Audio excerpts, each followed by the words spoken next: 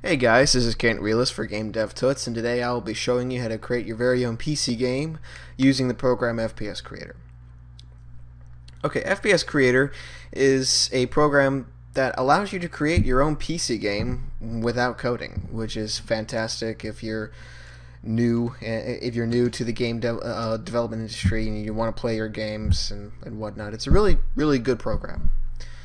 Um, there are two different ways of getting it. One of which you can just buy it for $49.99, and the other one, which is what we'll be using, is the free version.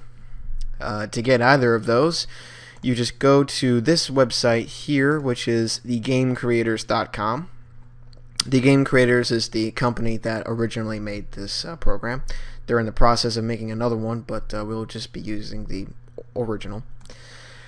Alright, when you uh, when you get to the site, you will come up to this screen here. Okay, you're going to go to Create Games. They have a lot of products. We're going to go to FPS Creator. Click on that. Going to bring it down here. Now, to get the free version, you just scroll down until you, not this. I'll explain what that is in a minute. We want this. the free version, download it now. Uh, this is trial play. And that means if you want to get this program, the full version, for free, you have to do a bunch of uh, offers and and and whatnot. Uh, don't be fooled by the get it for free. I mean, if you want to do the offers, that's fine, but that's not what I'm talking about. What I mean, get it for free. There's an actual free version, which is this one right here.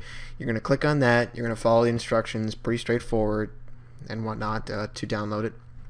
When you're done downloading, don't open the program yet. Reason being, um, they haven't done any updates to the program in a while. The program was originally released in 2005, so needless to say, it's a pretty old program. They do release uh, upgrade files to it, and that's their version of upgrading it and and whatnot.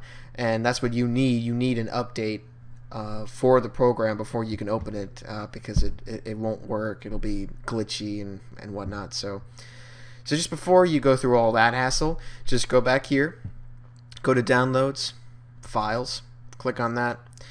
The update we're, we'll be using is uh, version 1.18. I know this is the new version. Um, I've not had any good experiences with this one because it's it's nothing new at all. It's basically the same as 1.18. The only difference is for some reason it took off my ability to build games in the full version that I have, so I don't understand that. Um, so so we'll just be using 1.18. You just click on that. You down uh, you will download it. You'll follow the same instructions to install it. It's pretty straightforward. Okay. So then once that's out of the way, we can finally launch FPS Creator. Now, if you're running on a Windows 7 or a Windows 8, you have to run this as a uh, administrator.